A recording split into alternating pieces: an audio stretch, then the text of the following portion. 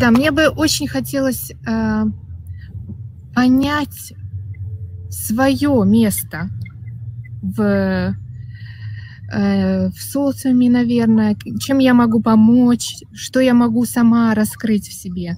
Я все время в таком э, поиске нахожусь, поэтому мне бы хотелось вот как-то определиться больше, к чему мои способности могут быть применены в этой жизни.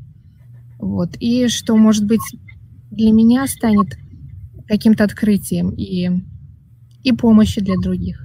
Соника имеет такие инструменты, Сергей Игоревич, для того, чтобы мы смогли Эли э, на следующей нашей встрече э, вот помочь как раз разобраться в этих э, вопросах.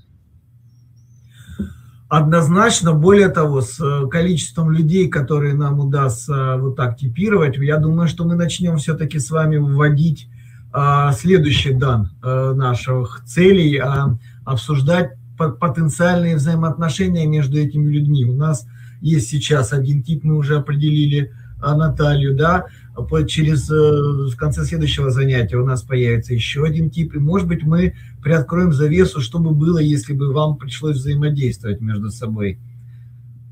Как Блестяще. вы на Елена, да, да. Замечательно, я тоже так считаю. Да-да, у нас есть планы, может быть, не все наши слушатели знают об этом. А, у нас есть э, специальный проект в Сан-Гейтс, называется Soulmate.